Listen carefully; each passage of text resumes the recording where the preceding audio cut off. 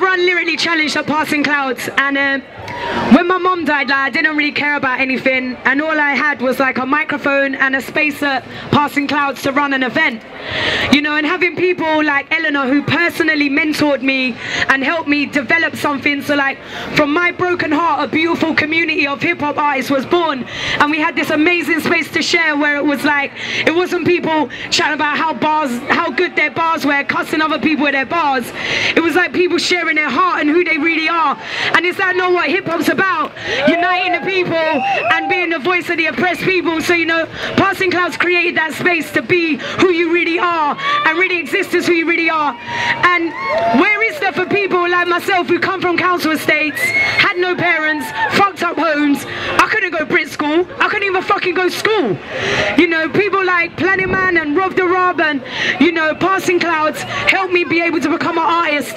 Where's going to be the spaces for the people that can't afford to go to, to them kind of schools? Where's going to be the places for the artists to go who haven't got anyone? You know, like we need mentors, we need art spaces, and we need people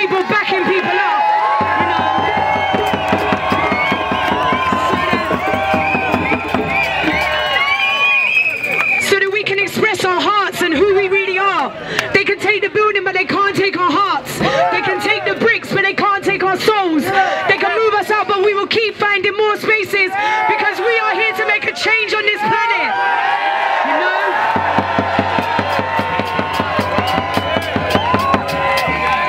because we are love and love is infinite and love love can change many forms and it can move into many different spaces so they can have money they can have buildings but as today has shown we will stand united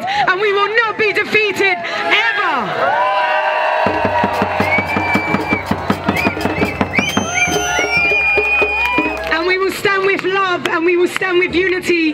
So it's about us every day doing as many kind acts as we can, standing forward and being kind to as many people as we can, compassionate, loving, wonderful, and increasing our networks daily, making sure to keep increasing our networks so that we can keep making things like this happen. And a massive round of applause to Eleanor, one of the best women I've ever known in my life. You know.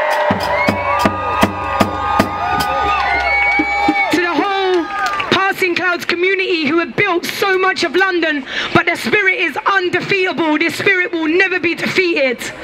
So today we're gonna have some, tonight we're gonna have some incredible speakers stand out because we've been losing venue after venue. But that's all right, man, because it's giving us an opportunity for the people to come together. Power to the people.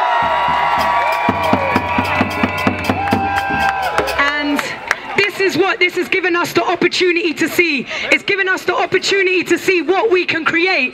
When they try and take the spaces, we can create anything we want. We are limitless.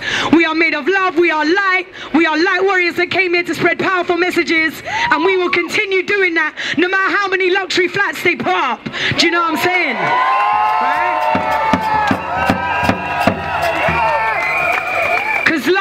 Most profound energy on this planet, and we are love.